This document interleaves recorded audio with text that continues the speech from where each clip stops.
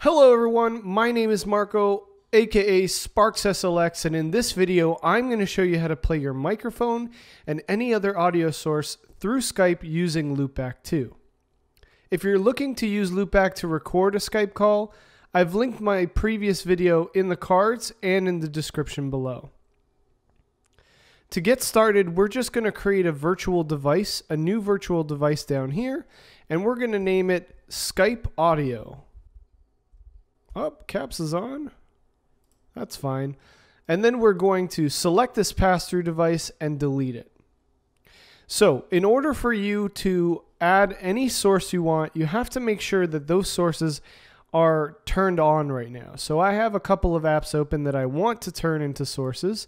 So we're going to start off with Farrago. Uh, and you'll see when I add the device, it automatically links the left and right channels to the left and right channels of this output, which is great. We're going to do the same thing for iTunes, and then I'm going to add my microphone that you currently hear me using, which is attached to my Zoom H6. Now, if you're in my situation and you have a Zoom H6, you're going to have to reroute this audio cables, these virtual audio cables here. So we're just going to select them and use Control Delete to delete them. And then we're going to route this to the left and then route it again to the right channel. Now you'll see my voice coming through the left and right channel in this particular uh, virtual device. So once you've added all the sources you want, and you can add more, you can add, you know, in my case, I have Google Chrome, there's all this other stuff. I don't know where audio would be coming from any of this, but Google Chrome is a great example of if you're trying to share video, you have a video podcast and you want to share video with someone and let them hear the same thing. Um, or you're you loaded up a video that has an audio clip that you want. So that's also great. All right, now it's about testing. So what we're going to do is we're going to go into Skype.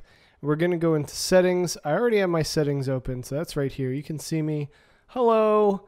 Um, make sure in settings to go to audio and video. And now we're going to change your H6, in my case, to Skype audio with big caps. And as you can see, as I talk, this little microphone meter works. I'm also going to pull up. This is Farrago. I'm going to press 1 on Farrago. As you can see, even when I'm quiet, it's actually making sound through the microphone. So just Make sure you test it, do a free test call. Hello, welcome to Skype call testing service. After the beep, please record a message. Afterwards, your message will be played back to you. Hello, this is a test. I'm testing the microphone and I'm testing Farrago.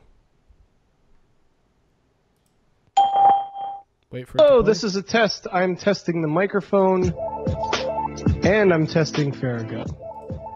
There you go. That's it. That's how you set up.